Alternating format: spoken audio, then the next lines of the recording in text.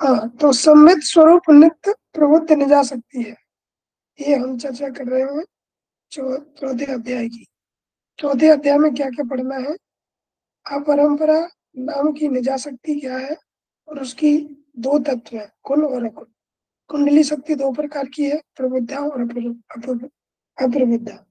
है ना? ये प्रबुद्धा मतलब प्रबुद्ध जो जगी हुई है अप्रबुद्ध सोई हुई है, उसको ध्यान में रखते हैं। और सूक्ष्म स्थूल रूप में ही देखते हैं और शक्ति के प्रकार है। ये ये कुंडली ही एक प्रकार की, जब ये कुंडली ऊपर जागृत होती है तो विभिन्न रूपों को धारण करती है और उसके तीन प्रकार बताए गए है ना? तो अपरंपरा नाम की निजा शक्ति के दो तत्व, कुल और अकुल। तो कुल निजा शक्ति के दो तत्व कौन है? कुल और अकुल। कुल क्या है? जो व्यक्त है और अकुल क्या है? जो अव्यक्त है है ना? अव्यक्त मतलब जो दृश्य। जो दिखाई नहीं देती। और जो व्यक्त है, कुल है, वो दिखाई देती है। तो परा है, सत्ता है, अहिंता है, स्फूर्ता है, स्फूर्ता नहीं है, स्फूर्ता है, कला। इन पाँचों रूपों में वह समस्त विश्व का आश्रय आधार बनती है। कौन? कुल शक्ति। और अकुल उसके आगे, उसके पहले की, इन सबसे पहले की जो अवस्था है, वो अकुल, वो वो अव्यक्त है है ना? उसको देख नहीं पाते। तो ये अपरा नाम की जो ले जा सकती है, उसके दो प्रकार हुए। कुल और कुंडली के दो प्रकार पड़ते हैं। कुंडली के दो प्रकार, प्रबुद्धा और अप्रबुद्धा। प्रबुद्ध प्रबुद्ध प्रबुद्ध मतलब बुद्धियुक्त। तो ये प्रबुद्ध का मतलब है जागृत। और अप्रबुद्धा, अप्रबुद्ध मतलब सुसुप्त या सोई हुई ठीक है तो ये अप्रबुद्ध है। ये चीज़ आपको याद रखनी है। प्रबुद्ध कुंडली शक्ति तीन तीन है उसके, तीन तीन प्रबुद्ध कुंडली शक्ति के तीन प्रकार है। ऊर्ध मध्य और अध अध तो वो क्या है? यद्यपि कुंडली महाशक्ति स्वरूप एक ही है, तथापि वह एक स्थान से जब ऊपर की ओर बढ़ती है तो उसके तीन भेद हो जाते हैं, है ना? तो वो कौन कौन से है? ऊर्ध ऊपर की ओर, मध्य, बीच में और आद्य मतलब सबसे नीचे। तो उसके तीन भेद हो जाते हैं। अद्य अद्य क्या है अद्य प्रथम अर्थात अध्या शक्ति व्यक्ति को बाह्य जगत से संलग्न कराती है। ये आधा शक्ति मतलब जो कुंडली है, वो जब मूलाधार में रहती है तो उसको आधा शक्ति कहते हैं। मध्य ऊपर जाती है जब द्वितीय जीवात्मा का अपने स्वरूप में स्थापित रहना नाभि में जाती है, तब उसको मध्य शक्ति कहते हैं। और और ये क्या है? शस्त्रार शस्त्रार तृतीय ऊर्ध्व शक्ति है व्यक्ति को परम पद की प्राप्ति कराती है। है ना? ये वाली शक्ति जो है। ये क्वेश्चन है कुछ इस प्रकार से। तो अब देखिए ये ये तो नोट्स था। और देखिए अब इसमें क्या था? हाँ तो पिंड वो क्या है? न जा सकती है। तो संबित स्वरूप नित्य प्रवृत्ति न जा सकती है, जो कुल और अकुल शक्ति है जिसमें। कुल में वही बताया, परा, सत्ता, अहिंता, स्फूर्ता तथा कला है। और अकुल में अकुल में जाति, वर्ण, गोत्र आदि से वो रहे थे है ना? असंग ही अकुल शक्ति है। पूछ लिया जाए, असंग क्या है? सिद्ध सिद्धांत पद्धति के अनुसार असंग क्या है? असंग असंग क्या है? असंग ही वो है, वो असंग ही अकुल शक्ति है। शिव और शक्ति का नित्य संबंध है शिव और शक्ति का नित्य संबंध है। द्विविध कुंडली है, ये जो चीज़ें लिखी हैं, बिल्कुल निचोड़ है आपको, है ना? और ये निचोड़ ही आपको याद रखना है। इसको आप चाहें तो अपने उससे उससे देख लीजिए, क्या बोलते हैं? उससे बना लीजिए नोट्स या फिर इन्हीं नोट्सों के माध्यम से आप याद कर सकते हैं। द्विमत कुंडली प्रबुद्ध जगाने वाली और अप्रबुद्ध सोई हुई, सुसुप्त। कुंडली एक होने पर भी तीन विभिन्न तीन भिन्न भिन्न अर्थों में जानी, जान पड़ती है, इसलिए उसको बांटा गया है तीन भागों में। अब एक बार और समझिए, ऊर्ध्व शक्ति, मध्य शक्ति और अधा शक्ति। ऊर्ध्व शक्ति मतलब जो ऊपर पहुँचने वाली है, जिसको परम पद की प्राप्ति होती है है ना, जो शस्त्रार्थ में प्राप्त होती है। और मध्य शक्ति जो नाभि में स्थित है, नाभि में स्थित जब कुंडली रहती है, कुंडली मूलाधार में है, जब वो ऊपर की ओर बढ़ती है, तब उसके नाम चेंज हो जाते हैं। है तो एक ही लेकिन उसके तीन नाम चेंज हो जाते हैं। तो ये ऊर्ध्व शक्ति, मध्य शक्ति और अध शक्ति।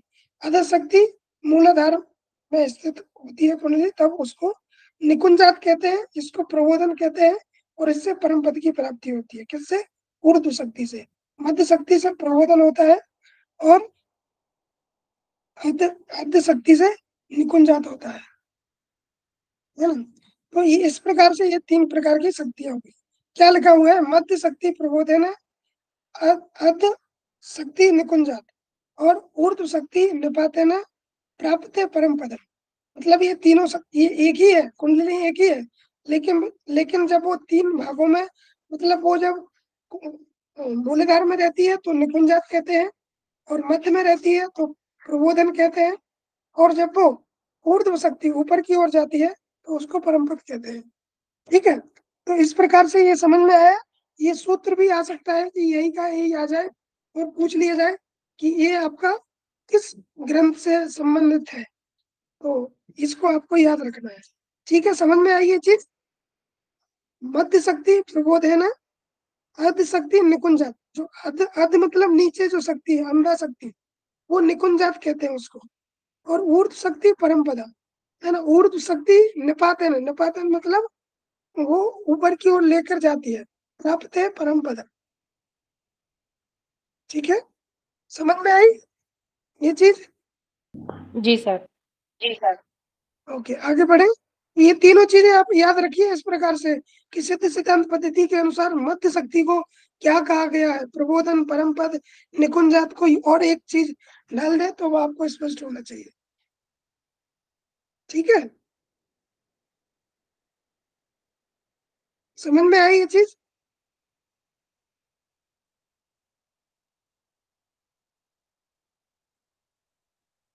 हेलो आवाज़ आ रही है मेरी? जी सर जी सर आ रही है आवाज़। ओके ये चीज़ समझ गए आप? Yes sir. ठीक है आगे आगे देखिए। आगे क्या है?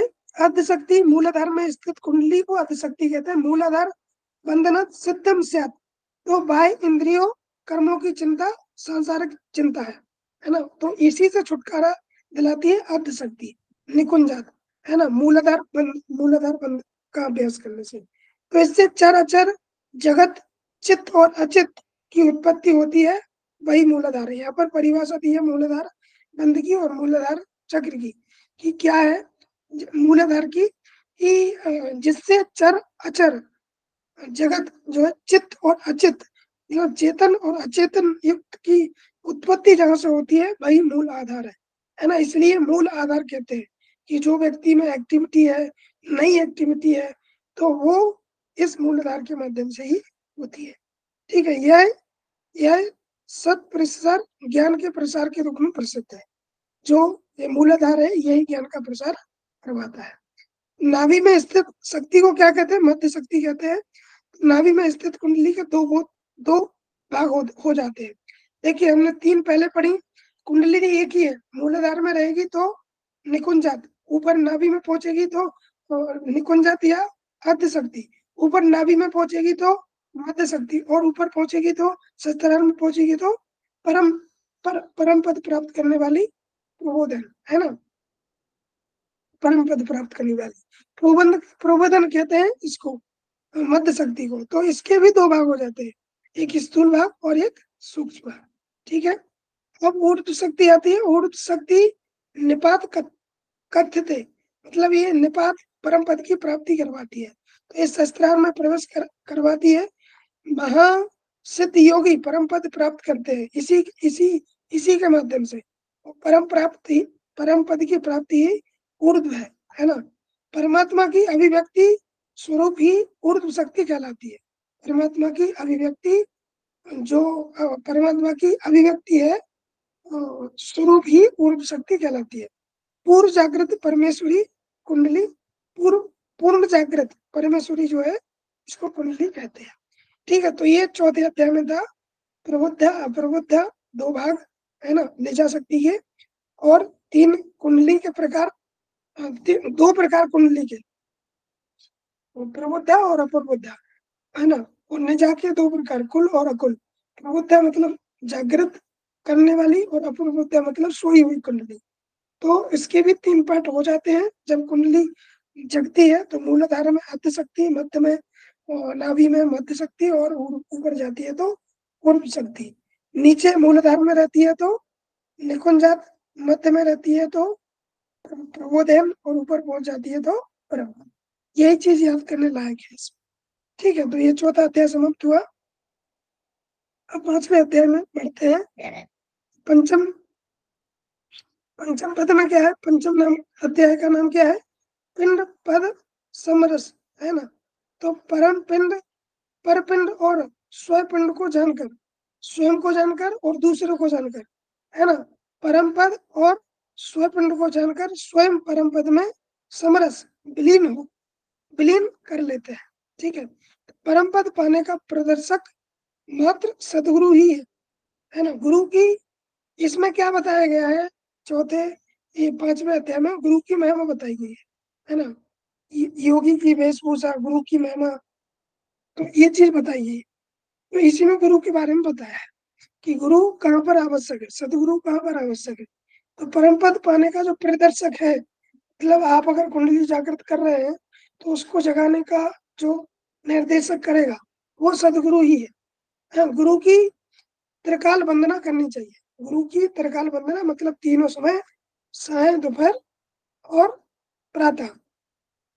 वंदना करना चाहिए। योग मार्ग ही सच्चा मार्ग है और अन्य सभी पाखंड या कपट पूर्ण मार्ग कहे गए हैं। ठीक है? ऐसी चर्चा यहाँ पर की गई है। और क्या हाथों में शंख योगी की वेशभूषा बताई है इसमें से क्वेश्चन कैसे बनेगा? कुछ इसमें से दे देंगे और पूछ लेंगे। कि सिद्ध सिद्धांत पद्धति के अनुसार योगी की वेशभूषा किस प्रकार से है? तो वो आपको स्पष्ट होना चाहिए, है ना? तो क्या है? हाथों में शंख रहता है, योगी के हाथों में शंख रहता है। और कान में कान में मुद्रा धारण करते हैं। केस रोम ना कर, काटना जो है वो ये बालों को नहीं काटते हैं केस रोम नहीं काटते हैं।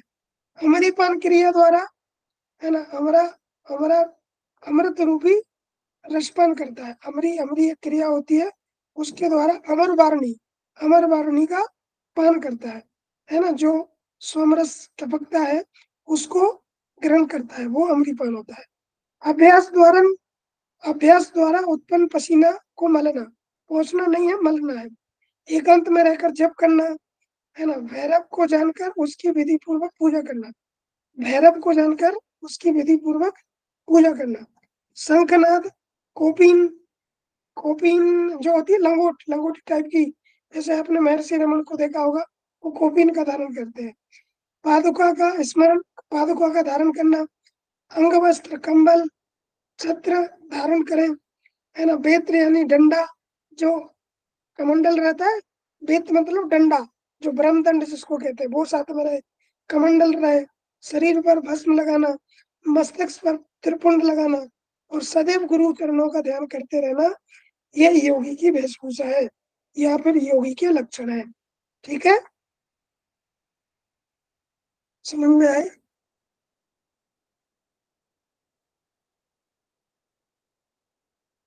हेलो?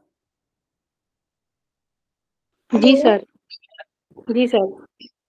इसमें देखिए और चीज़ें जो है वो दी गई हैं। एक योगी की वेशभूषा में अब योग की परिभाषा भी यहाँ पर बताई गई है है ना? उसको भी जानते हैं। योगा सन्निन पायो ज्ञान संगति युक्ति सु ज्ञान, योग की एक अवस्था बताई है। ऐसे योग की परिभाषा तो वन ऑब्लिक सिक्सटी नाइन में बताई है। हट योग की परिभाषा। लेकिन यहाँ पर योग की परिभाषा बताई है। तो सत्संगति प्रमाण युक्तियों द्वारा प्राप्त होने वाले मोक्षदायक के लिए उपाय करना। ज्ञान और युक्ति की संगति करने के लिए जो उपाय करना है, वही क्या है? योग है। ज्ञान और युक्ति की संगति करने के लिए जो उपाय करते हैं, वही क्या है? योग है। वहाँ पे हमने सूर्य चंद्र मसूर योगा हठ योग विद्या निगत पढ़ा था। अकारा सूर्य ठकारा चंद्र उच्च थे यहाँ पर योग की परिभाषा वहाँ पर हठ योग की थी, यहाँ पर योग की है, पाँचवें अध्याय में। तो ज्ञान और युक्ति की संगति करने के लिए जो उपाय करते हैं, वही क्या है? योग है। गुरु से शिक्षा, दीक्षा लेकर बारह वर्षों में योग योग सिद्धि संभव है। क्वेश्चन पूछा जाए, सिद्ध सिद्धांत पद्धति के अनुसार जो योग सिद्धि है वो कितने वर्षों में हो जाएगी? या कितने वर्षों में संभव है? बारह वर्षों में चौदह वर्षों में छह वर्षों में छह महीने में? तो आपको स्पष्ट होना चाहिए। पाँचवें अध्याय में स्पष्ट किया है कि वो जो है बारह वर्षों में सिद्धि होती है। ठीक? अब इसमें yes, पंच विधि गुरु संतान बताए। पंच विधि गुरु संतान। ये समझ में आया? ज्ञान और युक्ति की संगति करने के लिए जो उपाय किया जाता है वो योग कहलाता है है ना? क्या लगा योगा सन्नोपायो मतलब उपाय करना, संधि करने के लिए, ज्ञान ज्ञान संगति युक्त ज्ञान और संगति का युक्त करने के लिए, मिलाने के लिए जो उपाय किया जाता है, वही योगा कहलाता है है ना? जो मोक्षदायक है मुक्त प्रदान करने वाला है। और इससे गुरु से शिक्षा लेकर हाँ क्वेश्चन ऐसे भी बन सकता है कि किससे दीक्षा संस्कार लेकर बारह वर्षों बारह वर्षों में सिद्ध किया जा सकता है। तो क्वेश्चन को कैसे घुमा दे कि थ्योरी को पढ़कर प्रैक्टिकल करके, गुरु गुरु से शिक्षा, दीक्षा लेकर के तो आपको इस प्रकार से क्वेश्चन के लिए सिद्ध सिद्धांत में क्या है, गुरु से शिक्षा, दीक्षा लेकर, है ना? यही बात कही गई तो पंचविधि गुरु संतान क्या है? पाँच संतान, पंच तत्व और उनके पाँच देवता, है ना? पंचविधि गुरु संतान उनको कहते हैं। ये लिखा आ जाए कि पंचविधि गुरु संतान का वर्णन कहाँ पे है? या पंचविधि गुरु संतान क्या है? तो वो स्पष्ट होना चाहिए, है ना? तो आई संतान, इसका पृथ्वी तत्व है और ब्रह्मा जी उसके देवता है।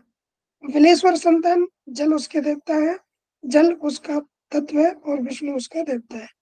विभूति संतान, अग्नि अग्नि तत्व और रुद्र उसका देवता है। नाथ संतान, वायु तत्व और ईश्वर उसका देवता है। योगीश्वर संतान, आकाश तत्व है और सदाशिव उसका देवता है। तो ब्रह्मा, विष्णु, रुद्र, ईश्वर, सदाशिव, ये आपको पता है। ईश्वर सॉरी पृथ्वी, जल, अग्नि, वायु, आकाश, ये भी आपको पता है। अब इसके लिए आई बिलेश्वर विभूति, नाथ, योगेश्वर के लिए मैंने विधि वो बनाई है। आई विधि आई विधि न आय देखिए, आई विधि न आय तो आई से आई संतान, विधि, बी से बलेश्वर संतान और आई आई आई विधि आई विधि में तीन हो गई, है ना? आई से आई संतान, बी से बी से आई विधि है, आई विधि है, बी, आई भी भी न आयो आई भी भी न मतलब जो V V V V I होते हैं ना वी वी आई पी, वो लेट आते हैं। तो एक प्रकार से उसी का उत्तर है कि आई भी भी न आयो, है ना? ना ना यो तो इस प्रकार से ये याद हो जाएँगे सिक्वेंस वाइज आई संतान, बलेश्वर संतान, विभूति संतान, ये तीन हो गई आई विभी आई विभी है ना? और ना आयो, ना से नाथ और योगी से, यो से योगेश्वर संतान। ओके तो इस प्रकार से आप याद कर लीजिएगा। और परम पद प्राप्ति के चार उपाय बताए हैं। सहज संयम सोपाय और अध्ययन ठीक है? तो इसको भी आपको याद रखना है। योग की पाँच अवस्थाएँ बताई हुई हैं जिनसे आप चिर, चिर परिचित है। सहज संयम सोपाय इनका क्रम अद्योत इनका क्रम आ सकता है। समसम सो आ ऐसे मैंने ट्रिक करके याद किया था। समसम सो आ है ना? सहज संयम शोभा सहज संयम शोभा और अद्युत योग की पाँच अवस्थाएँ ये आपको उपनिषदों में मिलती है और भी जगह मिलती है। तो इसमें क्या है? स्थूल सूक्ष्म कारण तुरीय और तुरीयतीत। जो इन सभी को जानता है, वह योगी, सिद्ध पुरुष, योगीश्वर का योगीश्वरों का ईश्वर कहलाता है। जो इन विधियों को, इन इन पाँच योगियों को योग की पाँच अवस्थाओं को जानता है, वो योगीश्वरों का का ईश्वर कहलाता है।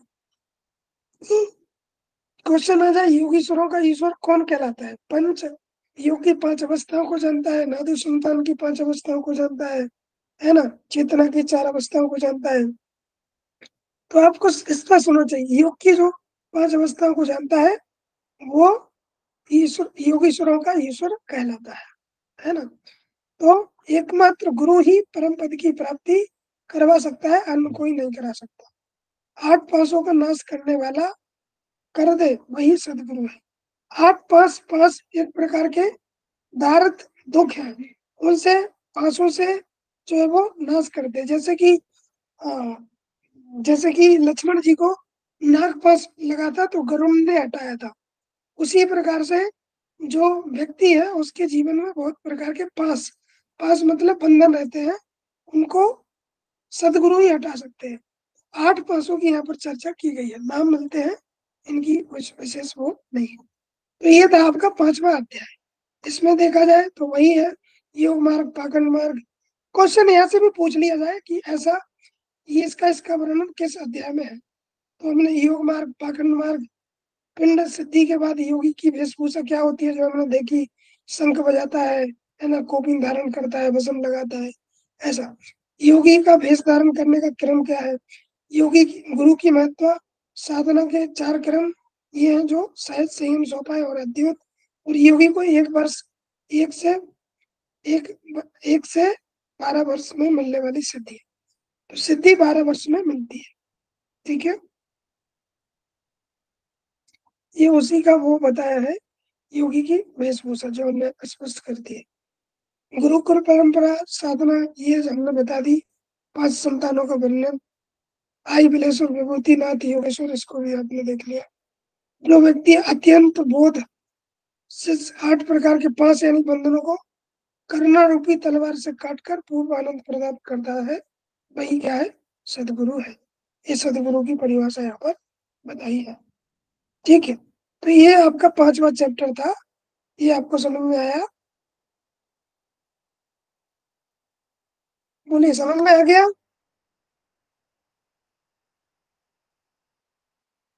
जी सर, याद करना पड़ेगा इसको और क्या है समझना। हाँ याद करना पड़ेगा और क्वेश्चन जो है अधिकतर अभी तक जो बने हैं, वो दूसरे, तीसरे और पहले, इन्हीं अध्यायों से ज़्यादा बने हैं। अब आगे यहाँ से बन जाए, कहा नहीं जा सकता। इसलिए इनको भी आपको पढ़ के जाना है। तो सष्टम अध्याय में क्या है? श्री नित्य अवधूत योगी है, इसका नाम ही है। तो अवधित योगी के लक्षण चार आश्रमों की चर्चा की गई आश्रम क्या है ब्रह्मचर्य ग्रस्त वानप्रस्थ और संन्यास। त्रिदंडी का वर्णन है, माया, कर्म, कला, ये त्रिदंडी कहते हैं। क्वेश्चन आ जाए, त्रिदंडी क्या है? तो माया, कर्म, कला, इसी को त्रिदंडी कहते हैं। पाँच मकार है, मध्य, मास, मेन मुद्रा और मैथुन। ये पाँच प्रकार के मकान है। नाड़ी शुद्धि का वर्णन भी इस पांचवे, छठवें अध्याय में दिया है। किसे मोक्ष मिलेगा और किसे मोक्ष नहीं मिलेगा?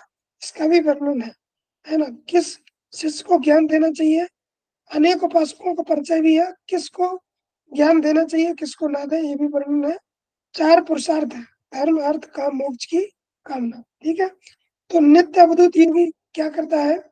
उसके लक्षण क्या है श्री नित्य अवधूत योगी के? तो वो शंख पादुका मृगचर्म शैली, मेखला, कटासनम और कुंडल अक्ष विश्रांति, यानी रुद्रा, रुद्राक्ष अक्ष विश्रांति आप याद रखिए। दंड कर पर योग पट्ट मुद्रा आदि धारण करता है। तो ये था आपका शिष्टाध्याय। और देखिए, इसमें मैंने और क्या आपको मेंशन किया है। तो यह सर्वान प्रकृति विक्रांत। अब बुधनोति नित्य अवधूत। योगी स्यात स्यात स्थित योगी। जो सकल प्रकृति विकारों का अवधुन यानी त्याग कर देता है, वही नित्य अवधूत योगी है। प्रकृति विकारों का, प्रकृति से जो विकार है, जो दुख है, कष्ट है, और जो चल रहा है, उसको पूरी तरह से क्या करें? उन विकारों का त्याग कर दे तो वही क्या हो जाता है? नित्य अवधूत योगी धूल कंपने धातु कंपन के अर्थ में प्रयोग किया जाता है है ना? धूल कंपन क्या है? देव प्रपंच, विषयों में आसक्त मन को लौटाकर जन्म, बंधन से युक्त होकर प्रपंच में शून्य चित्त को लीन करके करने वाला अवधूत योगी कहलाता है। तो एक प्रकार से अवधूत योगी के लक्षण यहाँ पर बताए हुए हैं। ठीक है? तो फिर क्या है? देह प्रपंच विषयों में आसक्त मन को लौटाकर जन जन बंधन से युक्त होकर प्रपंच शून्य में ही चित्त को लीन कर दे, वही क्या है? अवधूत योगी है। इसमें कुछ मंत्र बताए हैं। यम रम सं खम मुद रा। तो यम वायु है, रम अग्नि है, उसको चुप चित्र रूप ओमकार कहते हैं, है ना? सा से सुख और खा से खा से पर ब्रह्म संघ की इसमें वो व्याख्या बताई हुई है। तो इसलिए आपको क्वेश्चन इस प्रकार से भी आ जाए कि सिद्ध सिद्धांत पद्धति के अनुसार सम से क्या अभिप्राय है? संघ में संघ से संघ से संघ, जो संघ हो रहा है शब्द का उच्चारण, उससे क्या अभिप्राय है? तो संख से सुख का अभिप्राय है है ना? या सुख का अभिप्राय किस बीज मंत्र से है? तो वो संघ से है है ना? संघ। और खम खम से पर ब्रह्म है ना? खम से पर ब्रह्म की और मुद्रा का मतलब क्या है? मोदे दाने, है ना? जीवात्मा और आत्मा का एक होना यहाँ पर बताया, माया, कर्म, कलजा, प्राणादि, लिंग, शरीर है जो शरीर को धारण करने वाला त्रिदंडी कहा जाता है।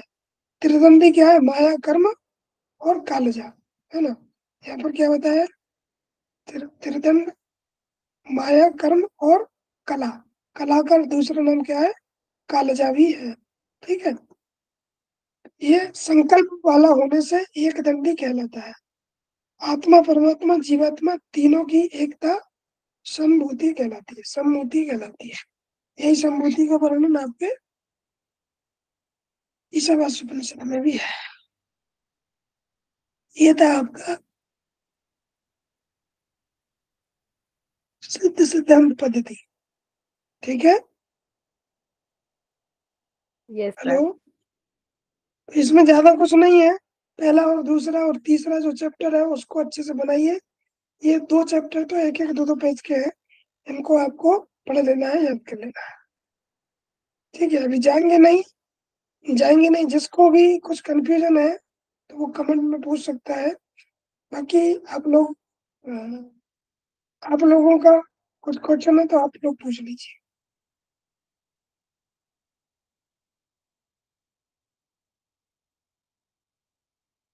इसमें जो है